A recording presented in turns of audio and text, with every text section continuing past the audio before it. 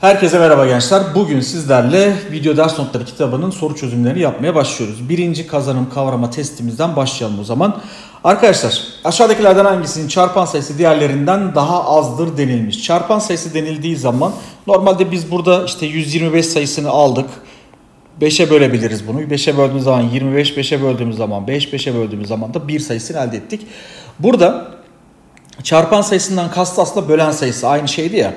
5'in ee, 3. kuvveti olarak yazabiliriz. Bunun kısa yolu şöyle bulunur. Üzerindeki sayıyı yani kuvveti alıp bir arttırarak çarparak devam ediyorsunuz. Burada çarpacak ikinci bir sayı olmadığı için bunu bir arttırdığımızda bunun çarpan sayısı 4'tür.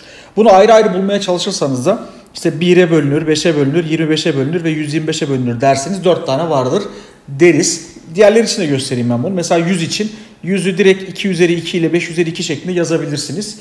2'nin ikinci kuvveti 4, 5'in ikinci kuvveti 25. 4 ile 25'in çarpımı da 100 yapıyor.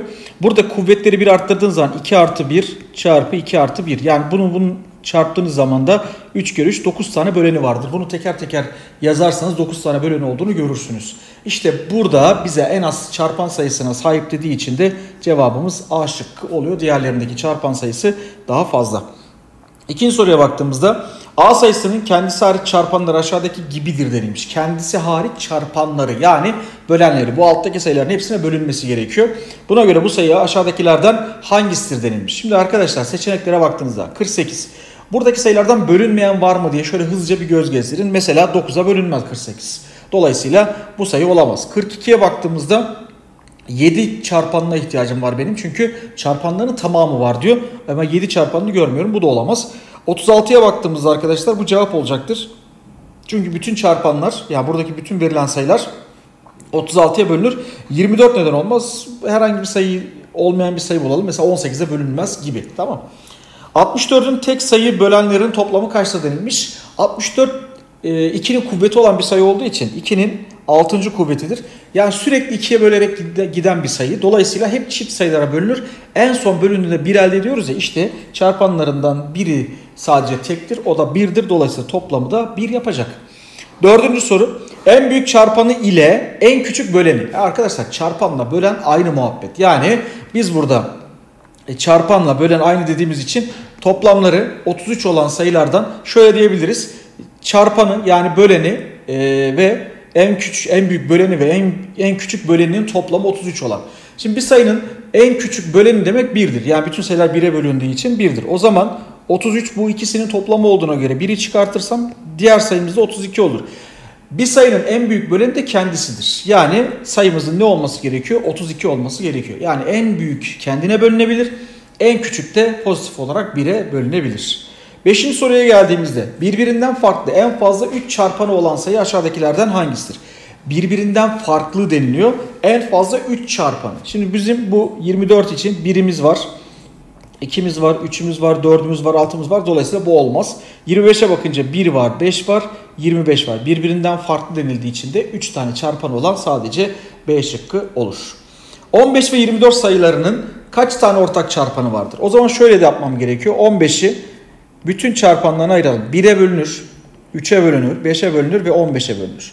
24 sayısı içinde bayağı bir çarpanı vardır. 1'e bölünür, 2'ye bölünür, 3'e, 4'e, 6'ya, 8'e, 12'ye ve 24'e bölünür. E arkadaşlar o zaman ortak olanları işaretleyelim. 1'e hepsi bölündüğü için 1'i aldık. Daha sonra burada 3 var. Burada şurada şurası 3 olacak. Burada da 3 var. 3'e de bölünür. Daha sonra 5 ve 15 sayıları burada olmadığı için de toplamda 2 tane ortak çarpanı vardır deriz.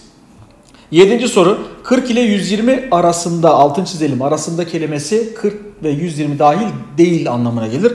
15'in katı olanlar. 15'in 3 katını aldığınızda 45'i elde edersiniz. 40'tan büyük olur. 4 katını aldığınızda 60 elde edersiniz. 5 katını aldığınızda 75'i elde edersiniz. 6 katını aldığınızda 90'ı elde edersiniz. 7 katını aldığınızda da 105'i elde edersiniz. 8 katını alınca 120 yapar. Bu 120 de e, arasında kavramına uymaz. Yani toplamda 5 tane sayı vardır diyebiliriz. Ve geldik son soruya buradaki. Kenar uzunlukları tam sayı olan 36 santimetre kare e, alana sahip olan e, bir dikdörtgen var. Bunun çevresi aşağıdakilerden hangisi olamaz demiş. Yani sana diyor ki çarpımlar 36 olan iki tane sayı yaz. 1 ile 36 olabilir. Çarpımlar 36'dır. 2 ile 18 olabilir. Çarpımlar 36'dır. 3 ile 12 olabilir. Çarpımlar 36'dır. 4 ile 9 olabilir. 36'dır. 5 ile 6 olabilir şeklinde devam edersiniz. Hep 36'ya eşittir. Pardon 6 ile 6 olabilir. 36'ya eşittir. Şimdi buradaki sayıların toplamına bakacaksınız. 1 ile 36 topladığınızda 37, 2 ile çarpacağız. Çünkü dikdörtgenin kenar uzunluklarından biri 1, biri 36, e diğerleri de 36'ya 1 olacağına göre topladığınız zaman 74 yapar. Yani bu olabilir. 2 ile 18 topladığınızda 20 yapar. 2 ile çarptığınızda da 40 yapar. Bu da olabilir. 3 ile 12 topladığınızda 15 yapar.